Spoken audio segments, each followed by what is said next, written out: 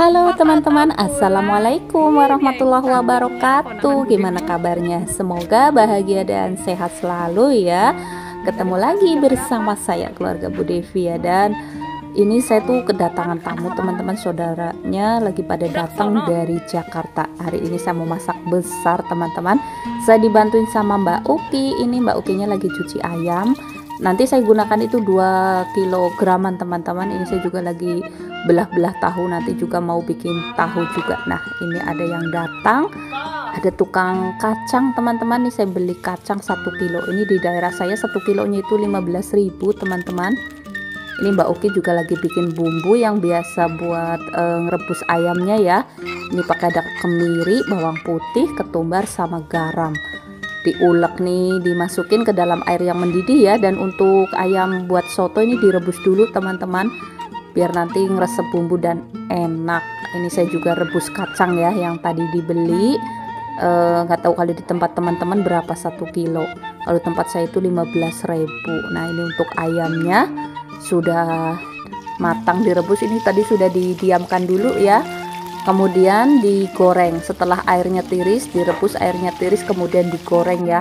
Ini nanti disisihkan dulu ya. Nanti siapkan bahan lainnya ini teteh juga baru datang saya tuh uh, masak dibantuin saudara teman-teman. Ini ada teteh ada mbak Uki. Jadi seru. Nanti keluarga tuh ngumpul semua. Ini uh, untuk kacangnya juga sudah mateng.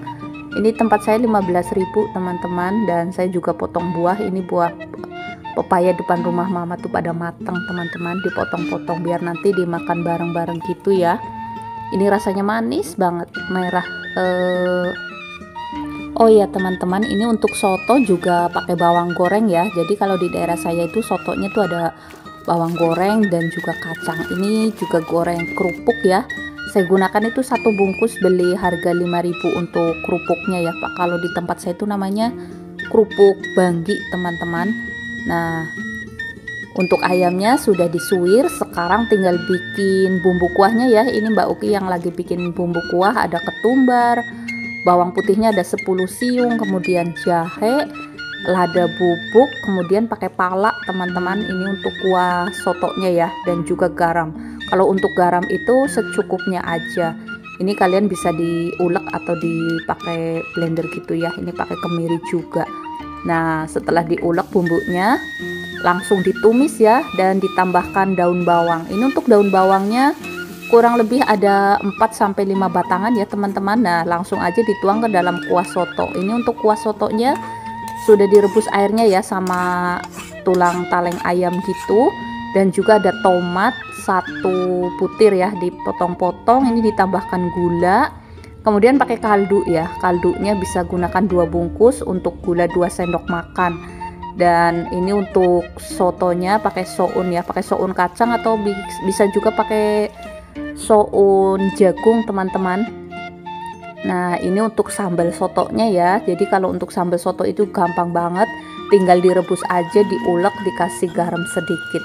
Ini dihaluskan seperti ini. Bisa pakai chopper bisa juga pakai ulekan seperti ini ya teman-teman.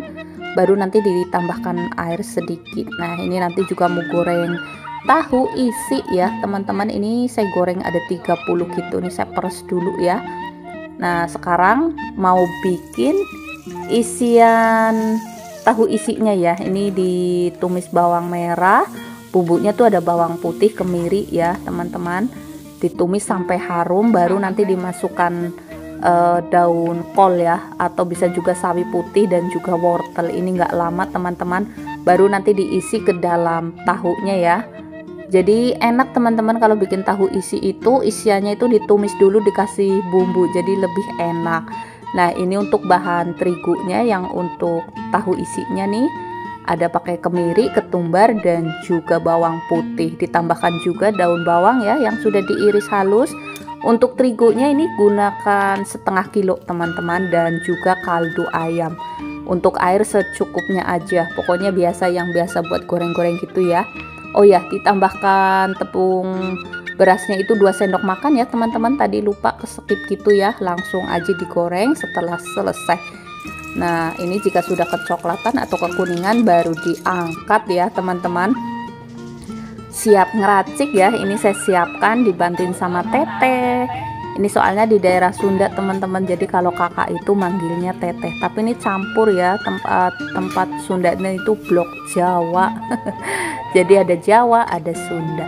Ini saya siap diracik. Jadi pertama-tama kalau untuk soto di daerah saya itu pakai soun. Ini ditaruh ya secukupnya aja untuk sounnya ya teman-teman Eh, kira-kira aja nih teman-teman bisa lihat ya. Soalnya nanti juga mekar jadinya banyak banget. Kemudian dikasih toge rebus atau cambah kacang hijau teman-teman yang sudah direbus sebentar. Ini secukupnya aja. Bisa dua sendok makan atau satu sendok makan gitu ya. Kemudian masukkan ayamnya. Setelah toge baru dikasih ayamnya teman-teman nih untuk ayamnya ayam yang sudah disuir-suir ya kemudian pakai itu apa namanya e, kacang tanah teman-teman. Jadi enak. Ini resep dari orang tua saya dulu waktu di Cilacap. Kemudian setelah dikasih kacang dikasih kerupuk yang merah ya. Untuk kerupuknya itu dihaluskan ya. Nah ini keseruan. Ada ponakan. Ini saudara saya yang dari Bekasi teman-teman. Nah terakhir ini ditambahkan daun seledri yang sudah diiris halus ya biar wa, apa wangi teman-teman dan juga enak. Kemudian tambahkan kecap manis secukupnya aja ya. Pokoknya seru banget teman-teman. Ini ramai banget. Saudara lagi pada kumpul dan ini anak saya di belakang lagi cuci motor teman-teman. Nah yang lain lagi sibuk ini lagi sibuk cuci motor. Nanti kita makan bareng-bareng. Ini dibantuin teteh untuk makannya nih katanya pengennya di teras rame-rame gitu biar seneng ya teman-teman. Jadi saudara pengennya makannya di teras gitu ya. Nah ini satu panci besar teman-teman. Pokoknya seru nih ada saudara lagi pada kumpul gitu. Pokoknya ikuti terus ya kegiatan keluarga Bu Devia. Dan untuk teman-teman yang baru gabung, selamat datang, selamat bergabung. Jangan lupa untuk tekan tombol like, komen, dan subscribe-nya ya, dan juga notifikasinya supaya tambah semangat ya teman-teman. Nah ini ada kacang, ada tahu isi, ada pepaya dan juga soto ayam. Untuk yang terakhir nih tinggal kita kasih kuah aja ya teman-teman Karena sudah dikasih kecap. Tinggal ditambahkan kuah nanti untuk cabai tinggal ambil sesuai selera aja. Ada yang suka pedas ada yang nggak suka pedas teman-teman. Pokoknya ini seger banget kalian juga bisa coba di rumah nih kalau lagi ngumpul-ngumpul kayak gini bikin soto yang banyak makan rame-rame enak banget. Kalau misalkan ada yang suka pengen pakai nasi juga bisa ini. Selamat mencoba ya teman-teman. Dukung terus keluarga Bu Devia. Mohon maaf jika ada salah kata dari saya. Assalamualaikum warahmatullahi wabarakatuh